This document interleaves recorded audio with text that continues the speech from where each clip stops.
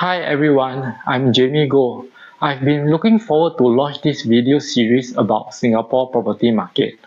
My motive is to get you curious, to spark some thoughts, and to help us gain more knowledge so that we can become wiser when it comes to making a decision on property matters.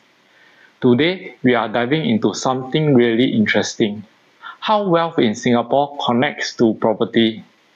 In the same series of my other videos, I will also be sharing how the rich get richer and what we can learn from them.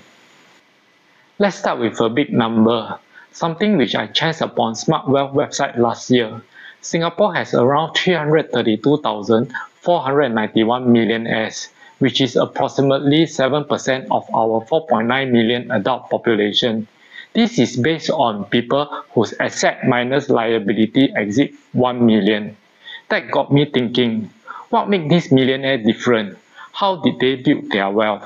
To find answer, I turned to data from SingStat website and created this pie chart on Singapore household net worth. Alright, picture this, a giant pie chart showing all the wealth Singaporeans own together. That's what we call household wealth like the total value of everyone's homes, savings, investment minus any debts. This pie is worth a massive 3.4 trillion. Here's the fun part. Over 60% of it come from just four big slices. Private properties, HDB flats, CPF savings and life insurance. That's huge. Meanwhile, savings and fixed deposits makes up 19.2%, equivalent to 658 billion, showing we Singaporeans are more prudent. But stocks, shares, and unit trusts, they are only 11.3% combined, worth 387 billion. What stands out? We are a cautious bunch leaning on safer avenues like property and savings. But the bigger picture is in property. Private properties, which is just 23% of Singapore housing stock as per data in 2023, holds more wealth.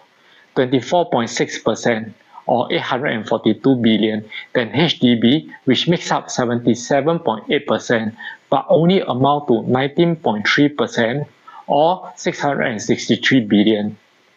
This means the 23% of people who owns private property have a much larger share of wealth compared to the majority with HDB flats. What does this suggest? It looks like private property could be the key factors in creating wealth in Singapore. Could it be that those who invested in private properties, especially during periods of price growth, were able to sell at a profit and grow their wealth faster? This data doesn't tell the whole story, but it certainly raises an interesting question about the role of property in creating millionaires. In my next video, we will dig deeper into this insight. I will share historical price trend for HDBs and condos in the past 20 years to see if the numbers back this up or if there's more to this story.